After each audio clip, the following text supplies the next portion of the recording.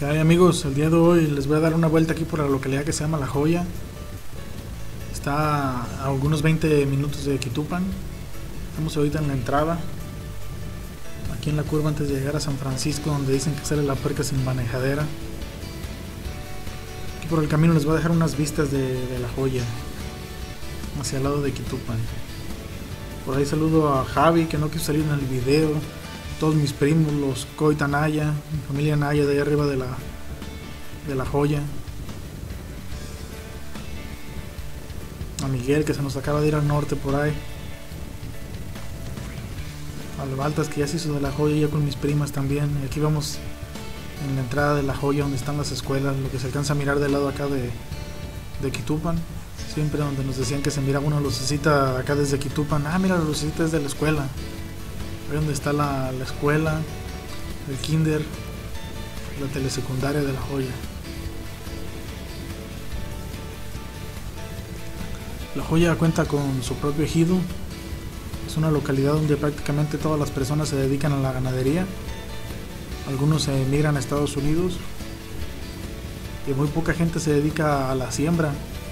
Si acaso siembran en el plan algunas parcelas que se rentan para, para los animales, pero es uno de los lugares con mayor producción de leche aquí de la región. También de aquí es originaria mi abuela, Mariana Yarruán. Por ahí si nos están viendo algunos de los familiares, saludos a ellos. Es una zona muy árida y este se complementó con el paso del tiempo de algunos ranchitos como se llama el Pitayo que desapareció y se convirtió ya pues en parte de la joya, todos sus pobladores se desaparecieron de ahí. Una localidad donde hay muchos problemas de, agua, porque siempre es, uno de los cerros más secos que, hay aquí alrededor de nuestro municipio.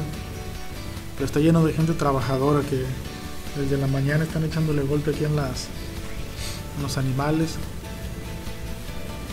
Un saludo para mi prima Silvia que ahorita acaba de pasar ahí en su casa. Estaba mi tío Rogelio.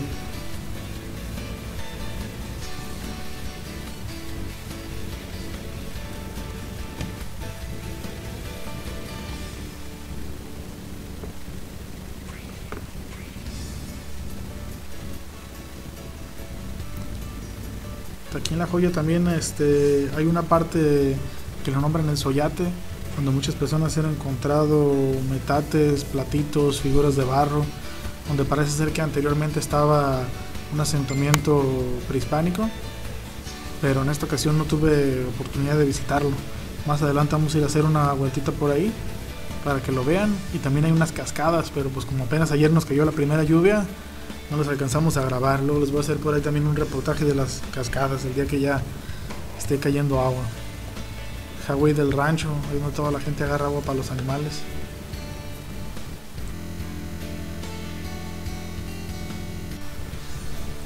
Y también un saludo a mi prima en Remedios, que ahorita va a salir aquí en el video. Todo lo que da un personaje muy famoso acá de, de la joya. Hola, prima. Hola. Estamos haciendo un video de la joya. Mándale saludos allá a la raza. Hola, ¿cómo están?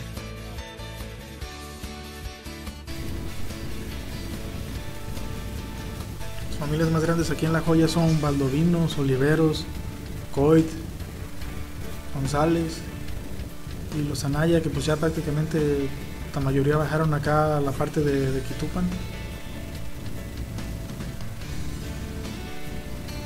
Aquí les dejo un recorrido por sus calles.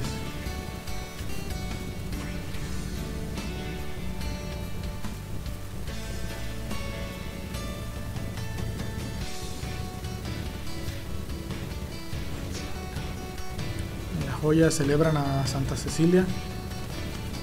Hace su su santo que ellos veneran ahí. Y a la joya le tocan las fiestas antes de San Francisco.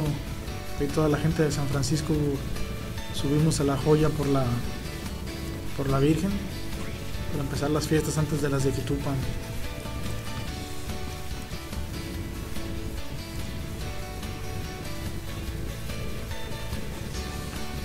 la joya prácticamente todas las personas bajan a la localidad de Quitupan a hacer sus mandados La gente aún usa mucho el caballo por allá arriba.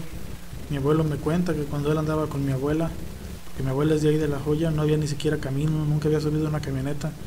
El único camino era subir a pie por el callejón que está ahí en Quitupan por la calle del DIR o subir a, caballo a ver a las muchachas por allá. Es del Javi, le mandamos un saludo al Javi y a Silvia que también salió de la de la prepa, no se dejó ver el Javi, no quería salir en el video.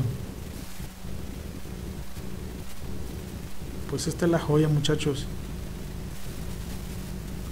A continuación una foto de la tiendita con su billarcito donde la mayor parte de las personas pasan el tiempo ahí en la joya para echarse un descansito en las tardes.